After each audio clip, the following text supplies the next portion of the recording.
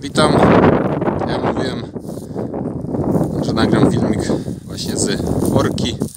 Także właśnie jestem w trakcie. Tutaj macie pole rzucone obornikiem. Jak widać jest dość taka delikatna warstwa.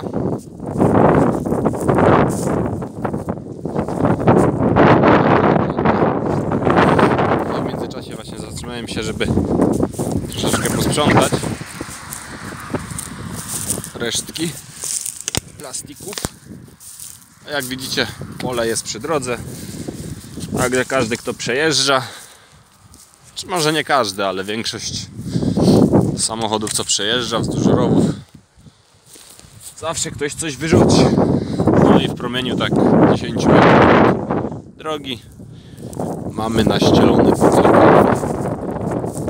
jest odcinek, jakieś 2 km może prostej drogi. Także nieraz już widzieli. Tu lecą butelki, różne papierki, śmieci. I później tak to wygląda, że mamy zdrową żywność. Złoże to się do plastiku, sami siebie trujemy. Tak to wygląda.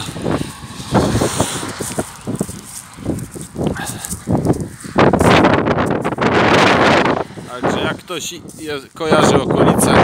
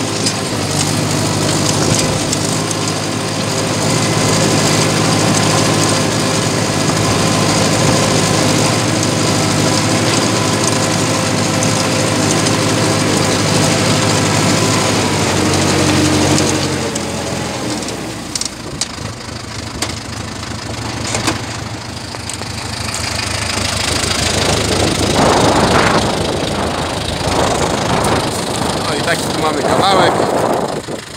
Także zapauzuję. Ponieważ ciężko się nagrywa jedną ręką. No i od razu jak się prowadzi ciągnik. No w 60 jest ten minus, że nie ma wspomagania. Także ciężko jest jedną ręką operować.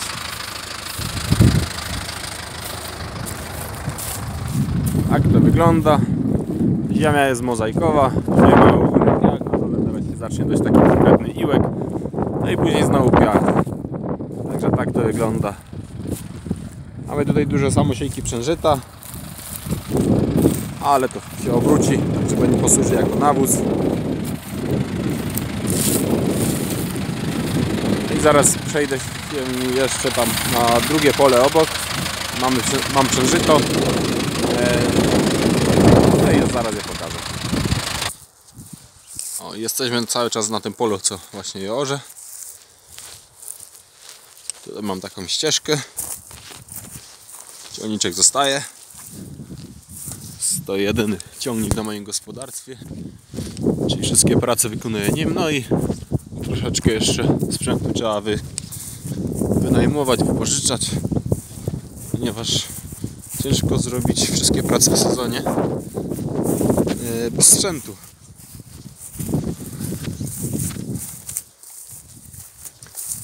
Tutaj mamy uprawę właśnie bezorkową. Między innymi do tego e, siewu musiałem wynająć e, odpowiedni ciągnik, odpowiedni agregat. Bo nie, dysponuję takimi e, maszynami. Ja właśnie chciałem zobaczyć jak to się uda w moim gospodarstwie, żeby wprowadzić uprawę właśnie bezorkową. No i tak jak widzicie, zboża rosną. Trochę chwastu też jest. Było to niepryskane. Tutaj właśnie mamy przy, przężyto. Średnio 3-4 rozgałęzienia. Było to późno siane. Siew był, jeżeli dobrze pamiętam, początkiem listopada. To ba- bardziej końcówka października, między 20 właśnie a 1 listopada. Tak to wygląda. Nawozy jeszcze nie były rozsiewane. Na razie właśnie skupiłem się na oborniku, aby wcześniej wsiać yy, zboże jary. No podejrzewam, że w tym roku też właśnie jak nie było zimy, to raczej będzie susza. Więc te deszcze, co teraz będą, mam nadzieję, że będą w marcu, zasilą troszeczkę te roślinki, jak, jak wzrosną. No i tak to wygląda, no co tu dużo oglądać. Na polu widać dużo takich resztek, bo to jest przy uprawie bezorkowej, no, zostaje troszeczkę jednak. Yy, To i tak tutaj mi się nie udało tak, że tak powiem, wsiać tak jak ja bym chciał. Yy, Metodą Notil. Właśnie tutaj nikt nie ma w okolicy takiego sprzętu. No i właśnie tutaj był agregat, raczej zestaw siewny razem z mm, talerzówką. I po prostu ta talerzówka to dość dobrze wymieszała. No i siewnik był talerzowy. Także ładnie to ziarna zostały umieszczone. Pomimo tam jakichś yy, resztek właśnie słomy. Także ładnie dość to powschodziło. I zobaczymy właśnie, bo to pierwszy raz w, w moim gospodarstwie taki, taka metoda siewu była wprowadzona. Zobaczymy jak to będzie wychodziło właśnie bez orki. No i myślę, że to tyle na temat właśnie tego przężyta. Myślę, że będę nagrywał jakieś filmiki, jak to się rozwija. E, Tutaj jest kawałek takiej łączki. Tutaj właśnie przez lato trochę kosiłem. Dowoziłem krowom. To jest troszeczkę daleko od gospodarstwa, żeby je tu wypuścić, a jest 30 arów, to można wykorzystać. Szkoda, żeby to stało i, i z tego właśnie nie mieć żadnego zysku. Także koszona była tylko raz, dlatego jest odrost tej trawy. No tak nie wiem czy będzie widać tam, ale chyba nie. Na środku są się sarny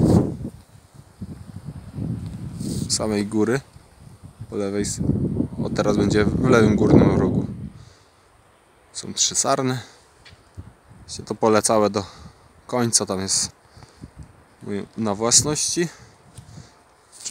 Pola dzierżawionego mam tylko 3 hektary także y, całe pole jest te 21 hektarów jest gruntu ornego jest własnością 3 hektary y, dzierżawy no i jeszcze 20, około 20 hektarów łąk dzierżawie są to łąki słabe, dlatego przy takiej powierzchni no, jestem w stanie tam moje 15 sztuk bydła wykarmić. I tak, tutaj jeszcze mam mule warszawskie. On jest jeszcze jeden dalej, już nie będę tam szedł. No i za tym laskiem jest jeszcze 6 uli. Jakby ktoś był zainteresowany ulami warszawskimi, można pisać. w komentarzach, że tak powiem tanio sprzedam, ponieważ przechodzimy na ule wielkopolskie, no i te warszawskie są troszeczkę zbędne. W części z tych uli są e, pszczoły, także jakby kogoś to interesowało. Gospodarstwo jest odległości około 30 km od Kielc. Także w razie czego taka lokalizacja. Jakby ktoś był z okolicy właśnie Kielc, można dzwonić, pisać w komentarzach, także jakoś tam się dzwonimy. No i tak, ja się biorę za orkę dalej. No i do następnego razu. Powodzenia.